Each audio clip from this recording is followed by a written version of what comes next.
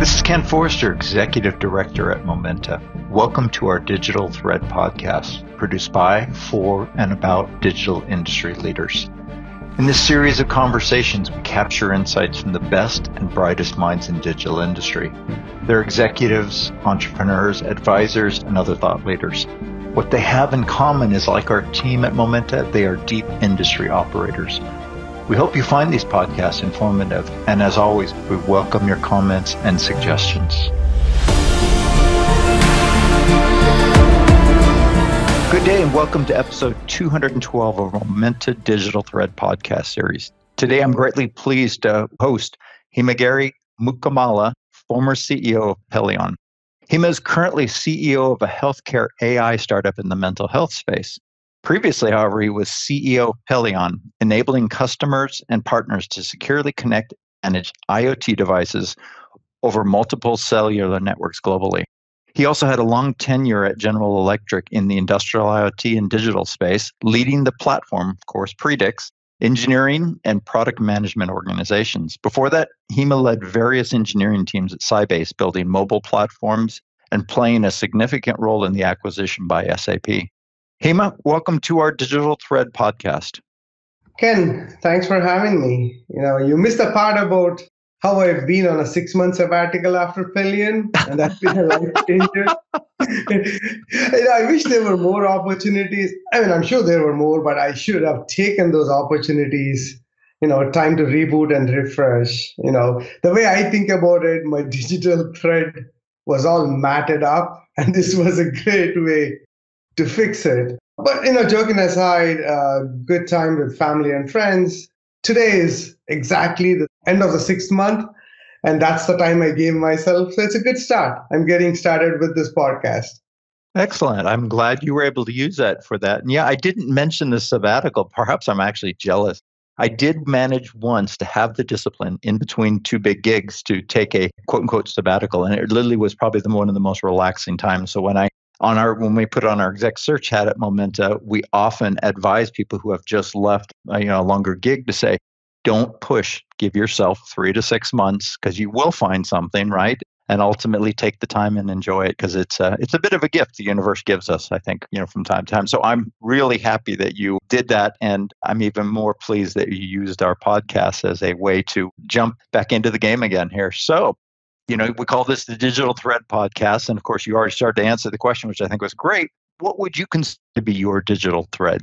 You know, coming from the industrial world, uh, you know, it's a simple definition for me. If I just look at the industrial side of it, you know, it's all about the data sets that capture the journey of an asset from design to retirement. So if I look at myself as an asset in a cosmic sense, and I'm hoping my digital thread, you know, when analyzed, would show this journey of learning, experimentation, and hopefully improvement. When I look at the face of my leadership during the GE days versus Pelion, you know, I feel like I've changed a lot in how I lead and operate. Know, I've picked roles that help me grow, you know, without thinking about, you know, how much am I managing without consideration of the scope and get into completely new domains and learned a lot. Know, I remember having this conversation with an HR person about a feedback I received about being very unapproachable early in my management career. And it needed a lot of self analysis to correct those behaviors. So, if I sort of correlate with the industrial side, and if the big theme in my digital thread has been enable learning through intelligence based on the data captured.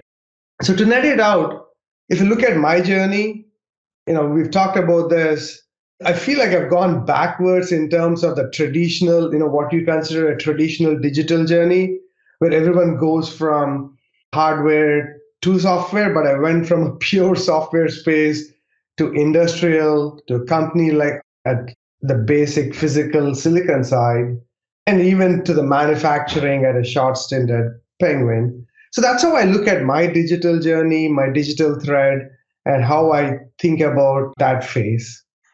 And you've given us several great hooks that we will talk about later because I think this software to hardware and conversely, the more difficult hardware to software journey is a, certainly a strong point in what you've been able to show.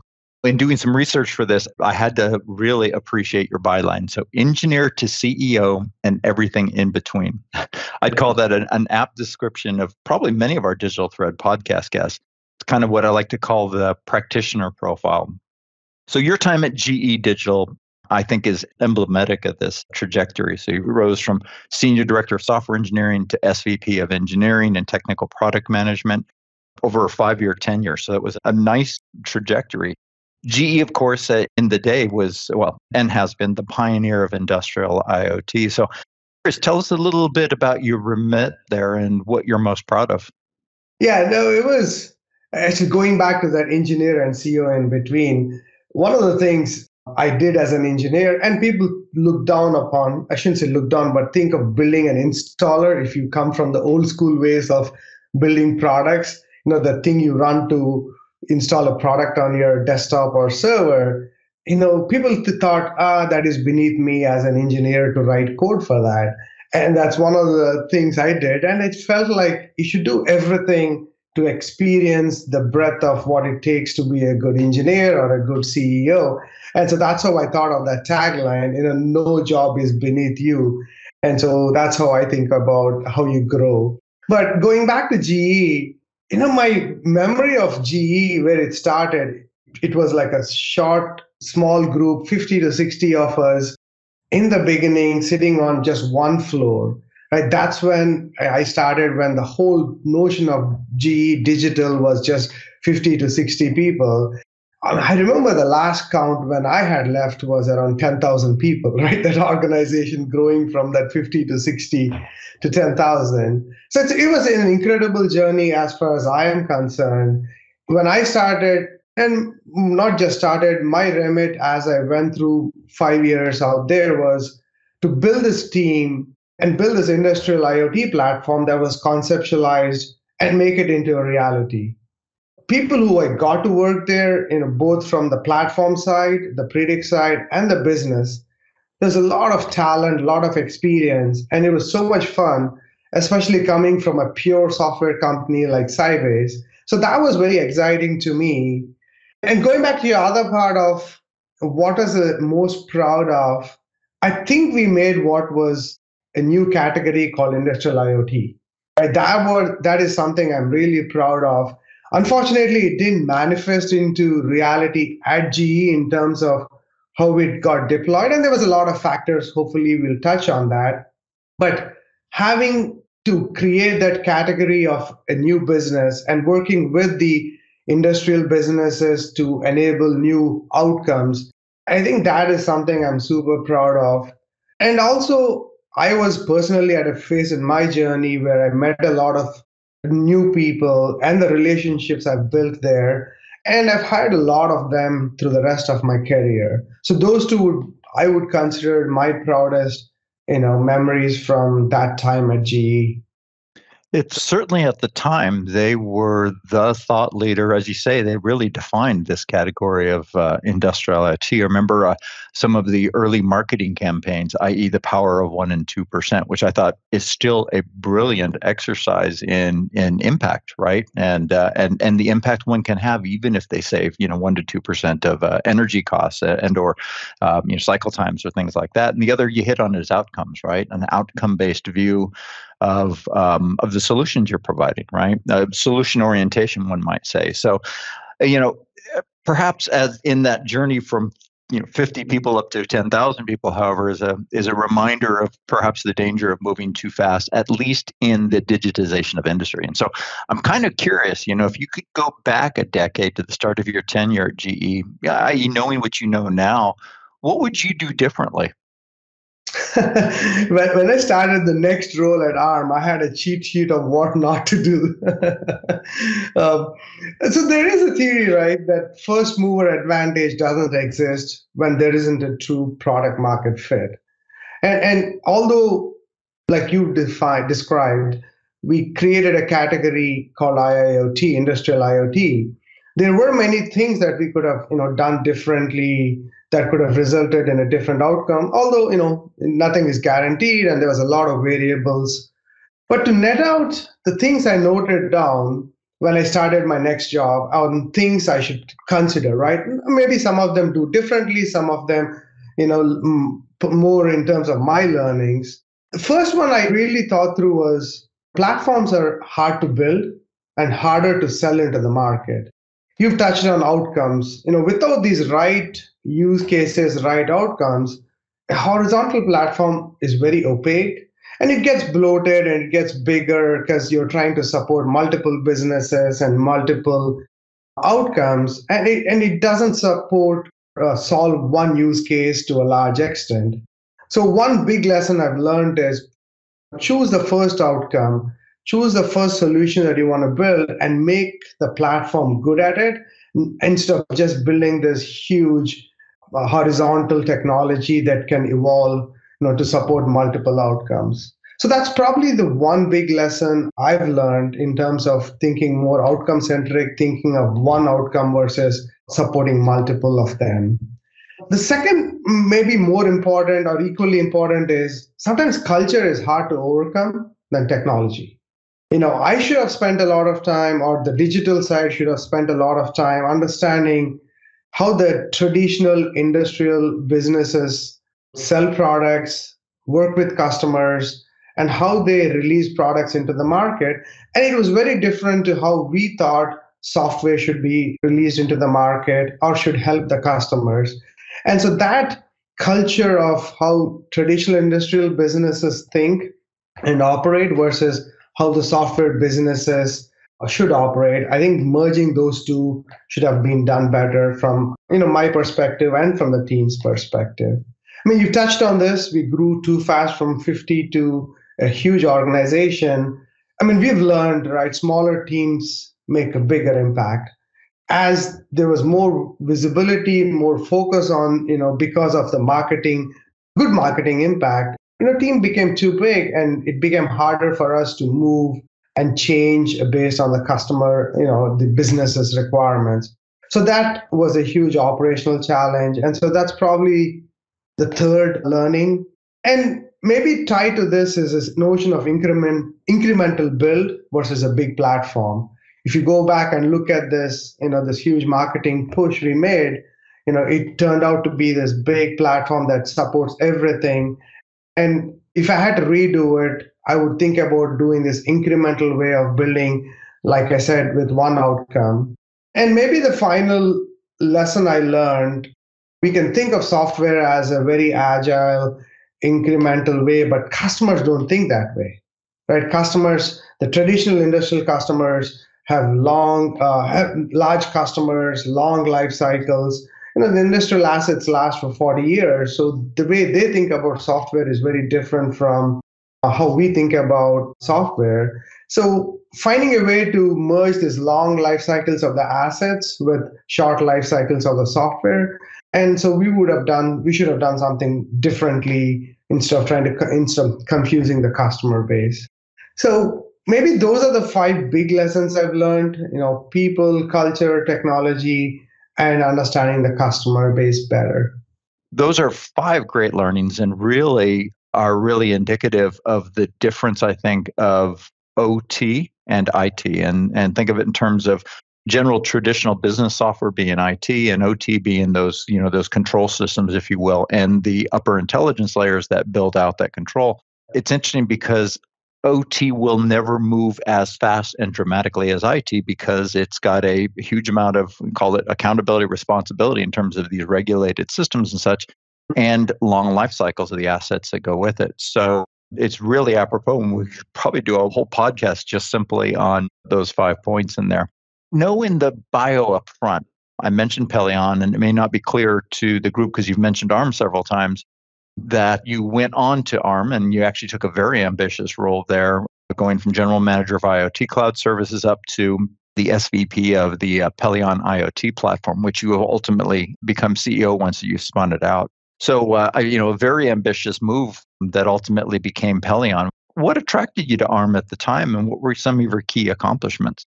just to reflect back on the first topic we talked about, my digital thread, you know, and how I took roles that are not tied to scope or that enable my learning. I actually went from a large organization at GE to just manage a few people because I figured I wanted to step into this aspect of the product lifecycle, right? The hardware side of it. And so I stepped down from a size scope and but went to a newer area. And so that's the transition from GE to ARM. The reason why I took it, if I looked at my experiences at GE taught me it's important to understand the whole product, you know, not just one piece of it, the software. And as I looked at IoT enabling these outcomes, is very important, especially from a security standpoint, to understand the stack all the way down at the silicon to the software and how this integrated product gets delivered. And if I looked at the, the two companies in the market that do that were Intel and ARM, but a lot of the sensors and the edge uh, nodes in the market were being built on silicon. And so when ARM reached out to me and said, Hey, do you want to work? I was like, What do you guys do in this space, right? Purely from a cloud and software and services. So when we talked about it, it sounded very interesting. It aligned with how I thought about products should evolve. And so this notion of an integrated hardware software stack being essential from an IoT space and ARM, no better place than ARM. That's what made me go to ARM. Again, I chose roles that were had to be very different. You know, GE was a very different organization. GE sold through these industrial businesses with long attach rates with customers, you know, who the sales team have been working for a long time. If you know ARM, ARM doesn't have a direct sales team. All their selling is through the ecosystem and the partnerships, right? Through companies like Silicon Labs that license their technology and sell it to their end customers. So ARM doesn't do any manufacturing. So that's something that attracted me in terms of learning new things. And also the people side of it, you know, Simon Segars, who was CEO of ARM, and Dipesh, who was a CTO, they were very different leaders, you know, coming from a hierarchical organization like GE they were very hands on, very approachable. And so that's the other thing that attracted a lot from how it was different from GE. And so that's something that I liked. And so I went there.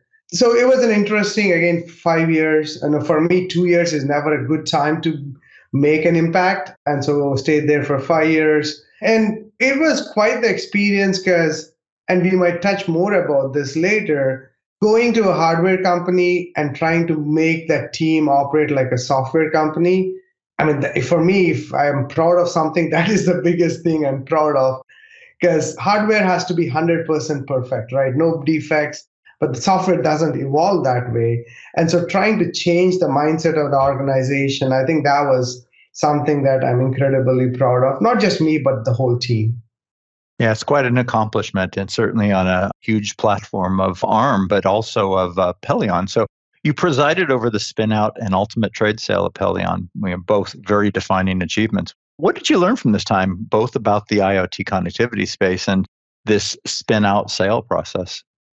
I think the, one of the biggest lessons, and maybe one of the biggest things I was proud about, was three of the top five industrial companies.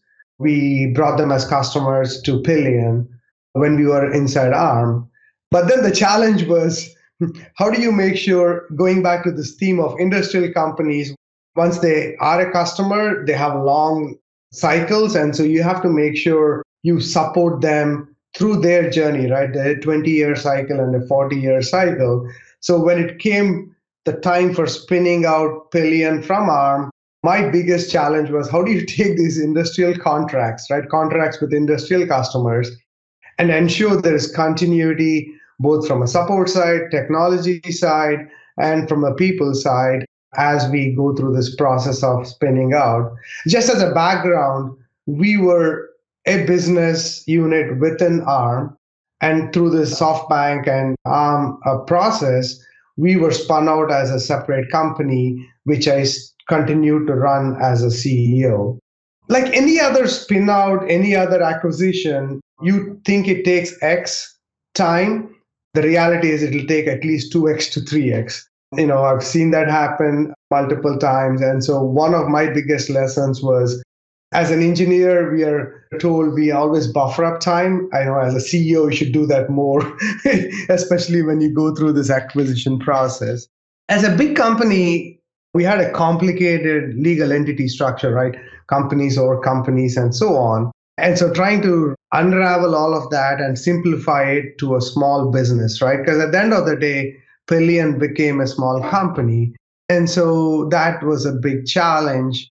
And I think there's a lot of new age companies where you don't need to set up your own legal entity to hire people in different regions. So at that time when we started, you know, we didn't have that luxury, but hopefully, you know, that doesn't become a challenge now.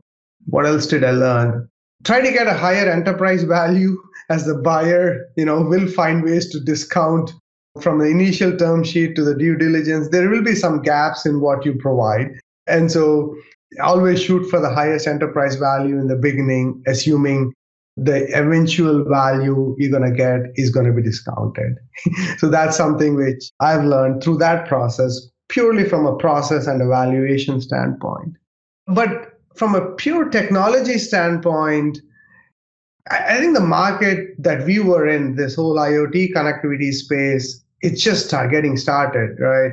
Uh, predicts around a trillion connected devices by 2035 and, and we are at 2023 and i think this market of you know where you talk a lot about this edge devices and sensor devices i think that market is just getting started. So i'm still very bullish about it and i'm still looking at a lot more of these devices to come online and collect the data so that you know you can run ai workloads at the edge like a lot of your companies do your investments do yeah, yeah, and uh, adding low power wide area like LoRa, Sigfox, etc., in into the mix, you know, to help with those as well. So it's become much more of a diverse, if you will, landscape in terms of edge communications. But agree with you, we're still scratching the surface on on what that looks like. I want to go back to a um, question you've asked a couple times, and you you and I discussed at length before the call, and that really is this idea of were companies trying to create software capabilities. And I know you've got a long experience base and some passion. So I was hoping you could say more about uh, one, your own experience, but two, you know, w- what have you seen in terms of success patterns there? I know I wish I had a silver bullet for every company that wanted to do this. Fundamentally, what any of these companies that are trying to be add software, they need to have a clear product strategy, right? So there's always a confusion of are we adding a new product within the same company? Are we just enabling more hardware sales? Or is it a combination? Because that clear strategy is what enables a hardware company to become successful. And a lot of times, there isn't that clarity to start with. And I'm not saying you should stick with what you start with, but at least the steps you take have to be driven by the good first decision on what role does software play in the future of your company right? So that's one thing i think should be clear from the get go and that will enable a lot of downstream decisions in terms of pricing in terms of go to market and so on uh, and so that is an important decision. The second thing that i've seen that companies can do earlier is a clear organizational strategy. Like I've said, cultures uh, uh are harder to overcome than technology, and a lot of the culture is in the organization. And so, trying to structure the organization aligned with the strategy so that whether it's an integrated product offering or a pure software and a pure hardware, whichever the strategy might be, an organization that aligns with it, I, I think is one other key sort of uh, decision that needs to be made when companies think about driving towards new software offerings, integrated or otherwise. Maybe the third thing is build versus buy decisions. You know, I've seen a lot of hardware companies who, you know, have traditionally built a lot because hardware, you end up building a lot of stuff on your own, trying to build software too. If you come from a traditional software space, you tend to go with the mindset that there's enough of open source in the market. I'm going to just pull along and only build what's needed. So this early decision on build versus buy And that also comes from the right talent, you know, having the right talent in the organization that can think that way. And so that's probably the third one, you know, build versus buy decisions.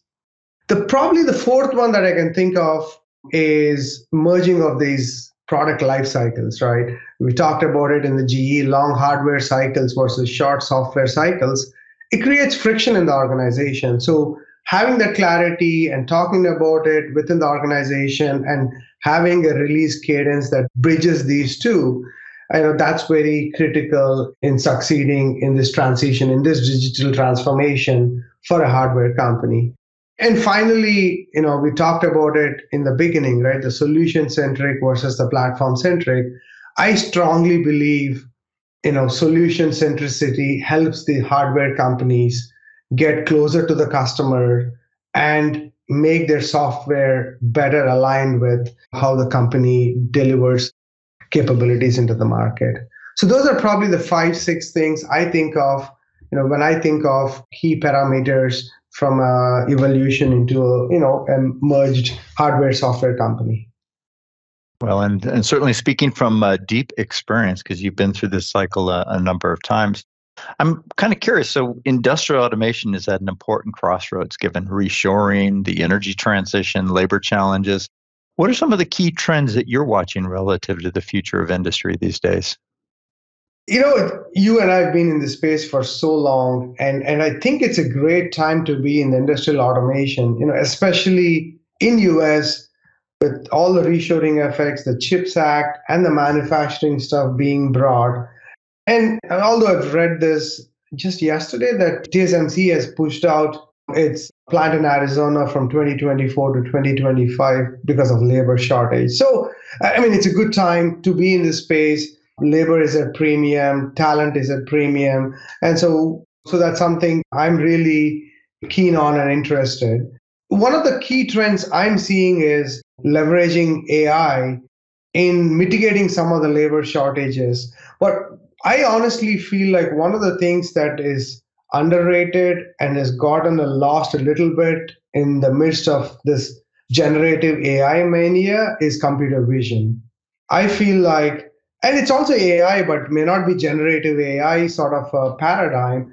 But in industrial automation, especially in quality and safety, it plays such a big role, and especially automating the manufacturing sites and using vision to do that I feel like, uh, and given the labor shortage problems, and so I think computer vision is going to just get bigger and bigger, especially using edge sensors to capture the data, visual data through the manufacturing lines. So that's one key thing that I see as a trend emerging. The second one is, a, you know, that I'm passionate about, you and your team are passionate about, is edge and sensors, you know, whichever terminology you may use small sensors, big sensors, light edge, small, big edge, small edge. Ultimately, collecting data and analyzing it, it's going to become a big differentiator in this space in industrial automation, not just where in the manufacturing side of the life cycle, but also where the assets are deployed in the field, right? So that's a trend that you know we've seen over the last 10 years, but given the growth in these sensors to run AI workloads, I think, and also the growth in connectivity, like you talked about, and the diverse set of connectivity available, I think it's going to become a big differentiator. And then finally, on the theme of connectivity, without all of these data sets being sent to either the local sensors or to the edge gateways or to the cloud, without connectivity, nothing can be materialized. And I see that diverse connectivity options continue to proliferate. And, one of the things I'm seeing is emergence of private LTE, secure, high volume. And so that's one other trend that I see that we were also looking at when we were at Pelion. But I look at these four trends AI, vision, edge, and sensor data to stream that data so that analysis can be done. And then finally, a good connectivity backbone that enables this data movement. That's what I see as emerging trends, or maybe continuing trends that are going to be solidified in this space. I think you've just described probably a good third of our portfolio and probably some of where we're making the most investments these days, especially the computer vision. And so um, it's nice to have that reinforcement. So I know when you're not leading industrial impact, you are actually running mountain ultra marathons. So I understand these to be somewhere between 150 mile plus, some over 200 mile races. Such great locations Tahoe, Bigfoot, Moab. Tell us a bit about this passion. that also needs one complete podcast. With um, yeah on running techniques right? Yeah yeah yeah. You know simon segars who's a ceo of arm left a note on my linkedin post when i said i was taking a sabbatical. He left a post about my stamina and persistence and i can attribute those two characteristics to this passion ultra running has taught me that you know journey is what matters if you look at these long races that you've described, there are eventual highs in spite of these long lows that you might go through, but you just have to wait for them, right? Our career journeys are very similar. You have to have this sense of optimism and happiness.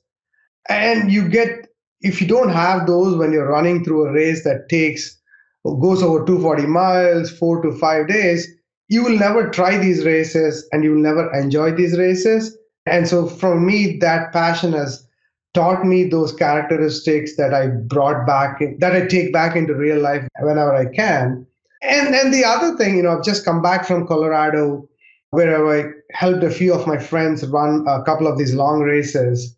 And the other thing that this passion of mine brings me is a sense of teamwork and shared success. I was there for their race. I was not even running a race. And sometimes, you know, the happiness comes from success, which is not even your success, right? They finishing their races or they giving their all for the race. And so uh, this is what this passion of brings to me and, and uh, you know, something that gives me that ability to come to go to work and think of shared success and team success. Awesome. Well said. And uh, it's uh, great to see the physical and personal manifestations make the professional. I agree with you. There's a, probably a lot of similarities in the character, perseverance, stamina, cadence, all of those things you learn from uh, long distance running or any sport. So, in closing, I always like to ask, where do you find your personal inspiration? Of course, beyond running uh, mountain ultra marathons. you know, I listen to a lot of podcasts, and there's a few books that I feel like have fundamentally changed my outlook on life. One of the first books that I read, maybe when I was into my early 30s, The Monk Who Sold His Ferrari. It was a great refresher in enabling me to sort of rethink about life, passions, and what matters in life. It's a book by Robin Sharma. The second book, I feel like that has changed how I do stuff. It's a book by Sakyong Mipham, if I remember right.